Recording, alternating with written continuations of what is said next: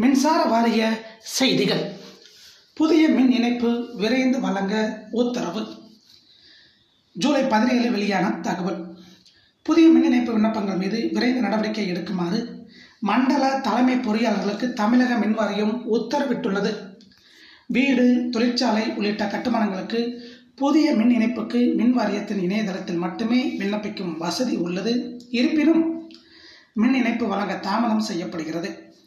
கடந்த ஜூன் முப்பது வரை புதிய மின் இணைப்பு கூடுதல் மின் பலு ஆகியவற்றுக்கு விண்ணப்பித்து நிலுவையில் உள்ள விண்ணப்பங்களின் நிலை குறைபாடு உள்ள மீட்டர்களை மாற்றியது உள்ளிட்டவை தொடர்பாக சென்னை மின்வாரிய தலைமை அலுவலகத்தில் அதன் தலைவர் ராஜேஷ் லக்கானி மண்டல தலைமை மற்றும் மாவட்ட மேற்பார்வை பொறியாளர்களுடன் நேற்று ஆய்வு நடத்தினார். அதில் நிலுவையில் உள்ள விண்ணப்பங்கள் மீது துரித கதியில் நடவடிக்கை எடுத்து புதிய மின் இணைப்பு வழங்கும் பணியை விரைந்து மேற்கொள்ளுமாறு பொறியாளர்களுக்கு உத்தரவிடப்பட்டுள்ளது.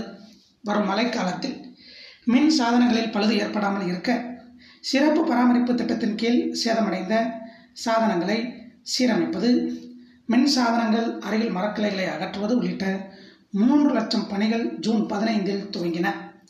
அவற்றை முடிக்க நேற்று வரை அவகாசம் வழங்கப்பட்டது. இந்த பணிகளின் நிலை குறித்து விரிவாக கேட்டறிந்த லக்கானி சேதமடைந்த சாதனங்களை விரைந்து சரி செய்யுமாறு தெரிவித்துள்ளார். இதே போன்ற மின்சார வாரிய வேலைவாய்ப்பு செய்திகளை உடனுக்குடன் தெரிந்து கொள்ள நம்ம சேனல் சப்ஸ்கிரைப் பண்ணுங்கள் ஷேர் பண்ணுங்கள் லைக் பண்ணுங்கள் நன்றி வணக்கம்.